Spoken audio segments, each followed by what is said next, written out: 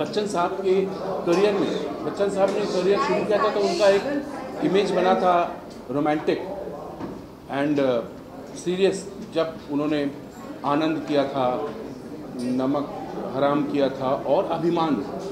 उसके बाद angry young man हो गए। दीवार, जंजीर और सब धमाम धुनुम धुनुम चल रहा था। उस बीच कभी कभी में उनका रोल अच्छा था, लेकिन अगर वो खयाम साहब का music and combination with Mukesh ji नहीं होता तो अमिताभ बच्चन का वो जो इमेज आया एक पोएट देखिए एक पोएट पोइट्री करता है। पोएट पोएट कभी गाना नहीं गाता लेकिन पहली बार ऐसा लगा कभी कभी में कि एक पोएट एक शायर गा रहा है। हम एक पूरी एक फ़िल्म के तीन फ़िल्में बन जाएँगी अगर मैं बात करना शुरू खयाम साहब जो खजाना छोड़ के गए उसी की रोटी हम लोग खा रहे हैं।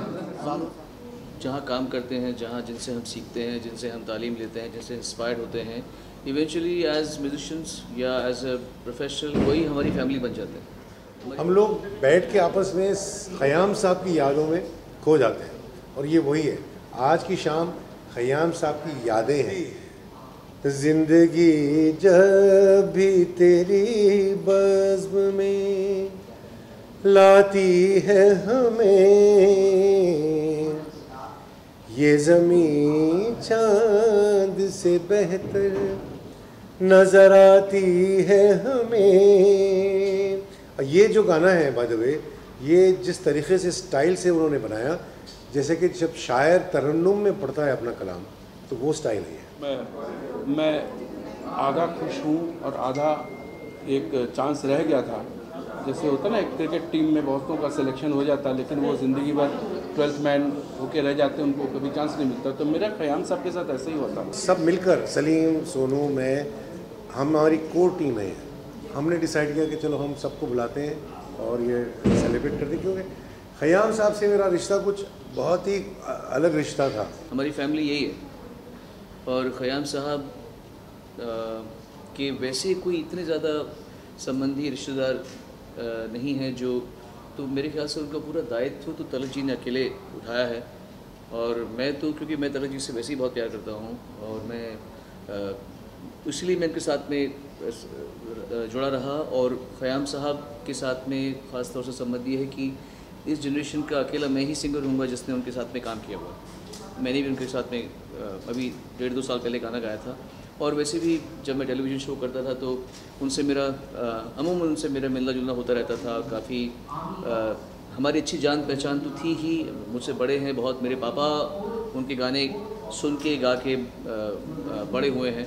सो वो हमारे सीनियर भी हैं, हमारा परिवार भी हैं। एज अ फैमिली हमें लगा कि फैम साहब के लिए अगर हम नहीं करेंगे तो फिर कौन करेगा? राइट तो कोई और तो आएगा नहीं, कहीं और से। तो हमने सोचा कि इतने बड़े आदमी, इनकी ज़िंदगी, इन्होंने अच्छी ज़िंदगी जी है।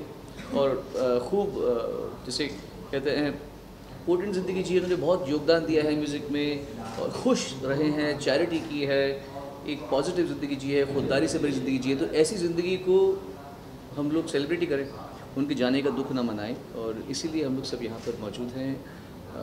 अभी चल रहा है इस समय शो मैं ये तो को इनसाइड चेक क्या हो रहा है। और अभी कोई ख़याम साहब के जाने का उतना ही गम नहीं है, जितनी खुशी है कि ख़याम साहब हमेशा हमारे साथ रहेंगे।